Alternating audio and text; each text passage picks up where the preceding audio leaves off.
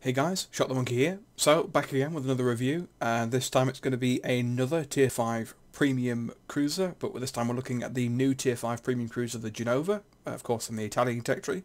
Uh, it's a ship that I picked up almost immediately after it came out, because of course I wanted to try the new um, semi-arm piercing shells that put into the game, and just see how the Italian cruisers generally play. Um, of course this review is coming a bit late, I've seen other people that have done reviews of this ship already. I think most of the main World of Warships um, content creators on YouTube have done a review of this ship by now. Uh, I'm coming a bit late with this because I wanted to play um, a few games and I don't play that many on this, um, I will admit, so it's taken me a bit longer with this review. Sorry about that, but it's here now. Um, first things first, I'm going to talk about this, and this is something that's relevant to another review that I did a while ago when I reviewed the Azuma. Uh, the Azuma review, at least on my channel, was inspired by a video I saw from iChase Gaming, um, who I believe put on a thumbnail the text just now in big red letters, uh, and he's given the same treatment on his review to the Genova. Um, and I don't specifically want to call him out on it because I think he's fair in the points that he makes, and of course reviews are all down to opinion and how you feel about the ship. So iChase has his opinion about the vessel, and he's entirely entitled to that opinion. Uh, but I'll say that I disagree with him um, on what he said, and I personally don't think this ship is as bad as other people have made it out to be. Um, so the first thing that I'm going to talk about, of course, we'll go through the same system as we did last time. Armour layout, survivability, artillery, torpedoes, air defence, manoeuvrability, and then concealment last. First things first, your armour. You have 10 to 150 millimeters in total as your armour range, so that's a similar number of value that you get on the heavy cruiser, the Exeter, so the British heavy cruiser at Tier 5, the premium. Um, you're looking at at most about 70 millimeters armor thickness across the Citadel armor belt, which covers most of the midsection of the ship, aside from the fore end and aft end. And you've also got quite nice armor on your main battery mounts and your barbettes, with 150 at the front of the main battery and then 100 millimeters on the barbettes. So it's rare that your turrets will ever get knocked out, at least from other enemy cruisers shooting at them, uh, which is something that can happen on the Exeter and something that also can happen on the Yahagi. So that's quite a nice change. Uh, these are quite well armoured, so you rarely get them knocked out. Uh, Citadel armor belt isn't as thick as it's found on the Exeter, but it's a larger armor belt in terms of length. It covers more of the ship, and it's only 6mm thinner, so the difference isn't too much of a, a major thing. Of course, you will be Citadel by battleships if they fire AP at you, and this thing, that 70mm of armour, is not going to stop anything. But it does mean that if you angle the ship reasonably well, and considering the good turret arcs, traverse arcs that your rear turrets get shooting over the front and vice versa, you can still ricochet cells off the side of the ship with that Citadel armor belt, and your turrets aren't as exposed to fire and damage as they are on the Exeter or on the Yahagi, which is the last ship I reviewed. So there's that. Uh, hit points 30,100, which is reasonably nice for the ship. Uh, I don't believe this was designed as a heavy cruiser, although I may be incorrect on that. Uh, this ship I don't think actually existed, but you see a lot of the design features from this in the Trento, which is represented at Tier 6 in the tech tree. Um, and that's a ship I hope to bring a review of in the near future. And you actually have torpedo protection. You have a 13% damage reduction on torpedoes, which is another nice feature to have on this cruiser. Um, certainly very nice. Uh, it's rare that it ever happens because you are quite able to avoid torpedoes in this ship, but it is nice to have it there in case you are struck by one on the uh, the side of the ship where you have your torpedo protection. So now we move on to the artillery. You have four twin-barreled 203mm turrets, so you've got four guns at the front and four guns at the rear. Uh, and these guns do have a 20 second reload, and if you think that sounds long, it is. Uh, but to keep that in mind, your two guns better off than the Exeter is, and the Exeter is using the same caliber guns as you, and the Exeter has a 15 second reload. So while your reload is longer than the Exeter, you are putting out more firepower if you can fire all your guns at the same time in a single volley, which is what I'd suggest that you try and do as much as humanly possible to maximise that. Uh, the turret traverse time is pretty long. Uh, I've got expert marks. I've got expert marksman on this ship, and the 180 degree turret turn time is still 23.4 seconds. Uh, without expert marksman, it is entirely possible for your ship to be able to outturn the traverse of your turrets, so you have to be mindful of that if you are performing heavy, performing heavy manoeuvring to try and dodge incoming fire. Uh, the maximum dispersion for these guns is 122 meters, which is not that bad at all. Uh, we move on to the SAP shell arm penetration, which is 54 millimeters, and the maximum shell damage for the SAP shells is 4,850, which is very nice. And the AP shells come in just behind that with a maximum AP shell damage of 4,700. So if you can get the semi-armor uh, semi piercing shells to penetrate and do damage, you will be better off firing those than the armor piercing. Uh, in cases where you're shooting at cruisers, for example, because you're less likely to overpenetrate. But you will struggle against battleships, of course, having no high explosive shell and no fire setting chance. So battleships are really going to be a bit of a menace for you unless you can start aiming the shots very well to land uh, on the deck arm that they can penetrate or put it into the superstructure, for example. Um, but other than that, if the battleship is angling towards you or is at fairly long range, you may have a lot of trouble actually damaging it outside of using your torpedoes, of course. Uh, and I will say that the shell velocity for both the SAP shells and the AP shells is the same at 840 meters a second, which is not quick. There are faster for tier 5 cruisers, but it's certainly acceptable enough that it doesn't make aiming too terrible. Your secondary battery is 12 single-barreled 102mm guns, and if that sounds like a lot, that's because it is. At least it certainly feels like it for a Tier 5 ship. Uh, they reload in 4 seconds, and they fire high explosive shells with a maximum fire chance, well, a fire chance stock of 6%, and then a maximum damage of 1,450. Uh, they can only penetrate 16mm of armour, so that does mean that most ships will be able to deflect that. Um, to put that into uh, context though, there's only 60mm of plating on the side of the Genova, and at the fore end and rear end there's 13mm, so you can penetrate the side armour of cruisers uh, if you happen to have your secondaries opening up on them. However, that's probably unlikely considering that their stock firing range is 4.2 kilometres, which isn't exactly brilliant, uh, but there are occasions where if you get close enough to do some close range torpedo rushes on things, or you just happen to be close to an enemy cruiser in a bit of a close range knife fight, your secondaries will begin opening up on them and there is a quite a reasonable amount of damage potential behind these secondaries even with their short range. And then your main battery maximum firing range at stock is 14.3 kilometers, which again is pretty nice and this ship is quite fast so that doesn't feel like too much of a, uh, a downside there. You can certainly get that 14.3 kilometer range to work, especially with the speed your ship goes at.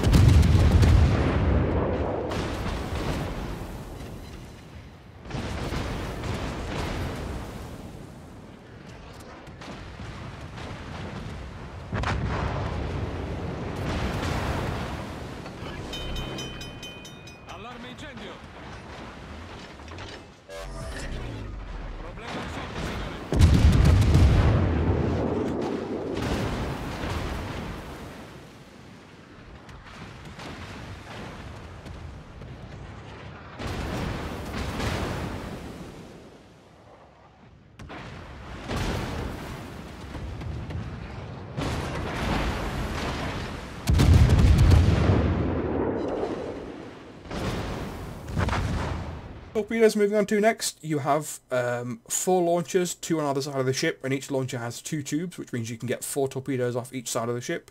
And they are 533mm torpedoes. They have a maximum range of 8 kilometers, and they travel at 51 knots. So these are quite slow torpedoes, but the range is certainly acceptable.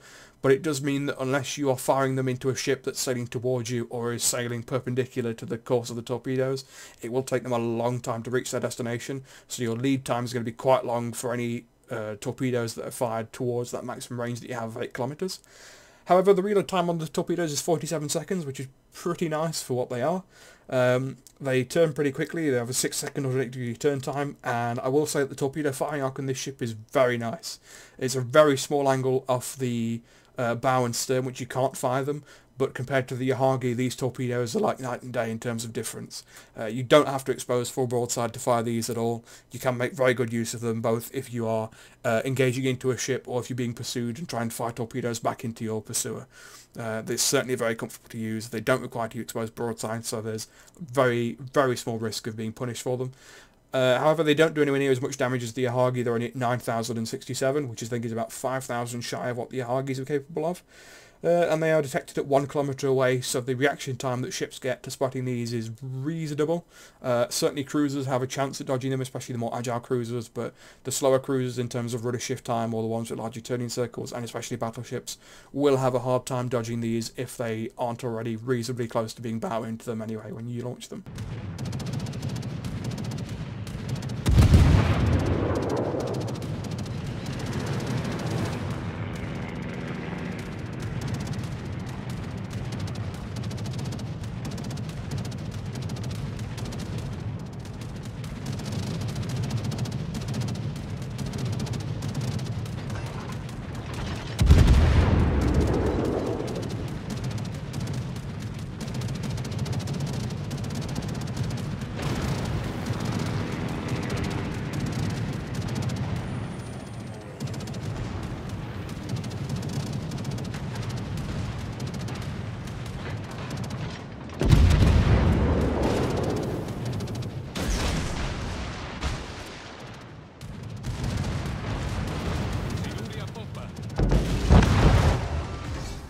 Terms of its AA defence, your secondary battery of 12 or 102mm guns are part of your uh, AA defence. They make up the long-range AA sector, and the ship, yes, does have a long-range AA sector, uh, which extends out to 4 kilometres.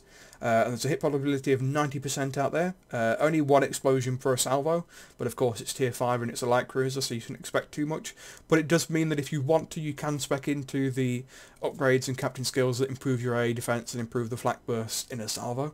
And then you have your mid-range AA guns, which are comprised of uh, comprised of four single-barreled 76.2mm guns, uh, which have a pretty poor continuous DPS of only 25. But they activate from 3 kilometers away, so it does mean that once you're within 3 kilometers, all of your AA guns are going to be active, because both your long-range and mid-range AA guns have a minimum action zone of 0.1 kilometers. So from 0.1 kilometers out to 3 kilometers, all of your AA guns will be firing, and then out to that 4 kilometers, that last kilometer, it would just be your secondary battery of the 102mm guns. So you could, certainly could use captain points to spec into AA defense if you wanted to. I personally wouldn't suggest it. I think it's a waste of captain points, and I think they could be spent on uh, better options for captain skills than specking into something like BFT and AFT and manual fire control, for example. But that's down to individual preference there.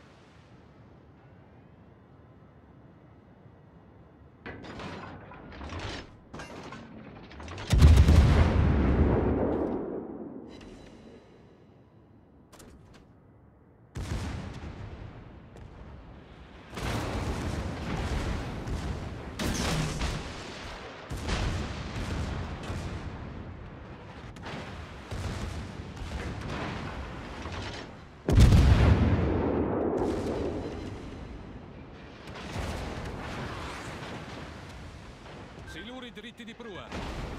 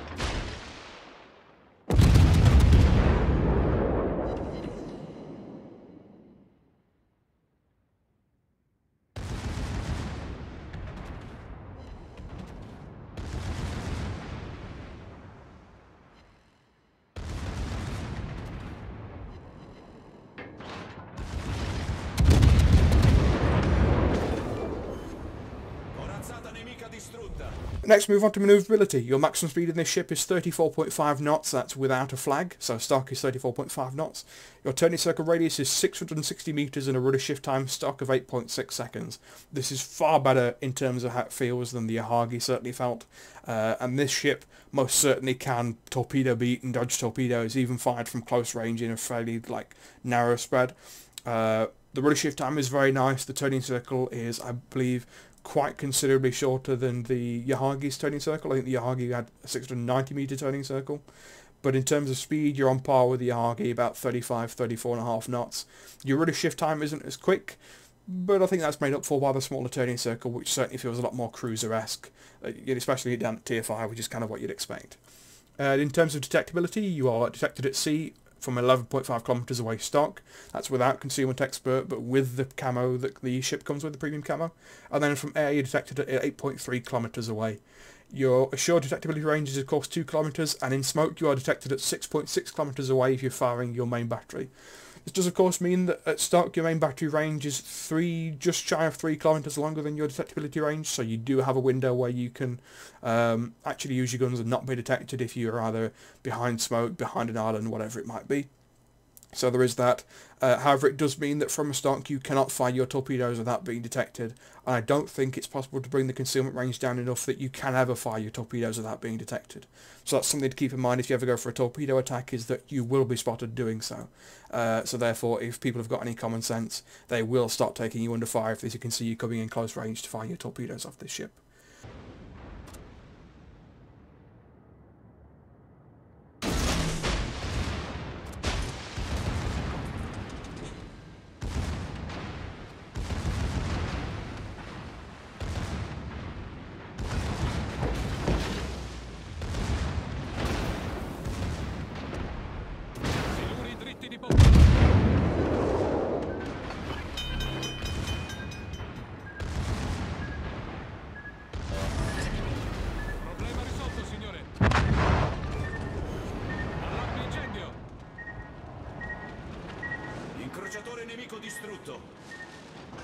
Uh, overall, I've enjoyed it. Um, I think the SAP shells are very nice, especially for me, because I kind of value their consistent damage over the uh, kind of um, more inconsistent, more fire-reliant damage that most HE shells have, especially having come from the Yahagi where you're relying on fires quite a lot to do damage because the shells weren't that good.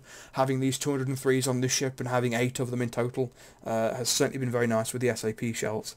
Uh, I personally think this ship is, if you are interested in that kind of thing, um, if you've seen any videos on SAP shells, or if the idea of having that more consistent damage uh, and giving up the fires for that, if that's okay for you, then I'd certainly suggest um, definitely grinding out for the Tech Tree, uh, Tech Tree cruisers that are available in the event that's currently going on.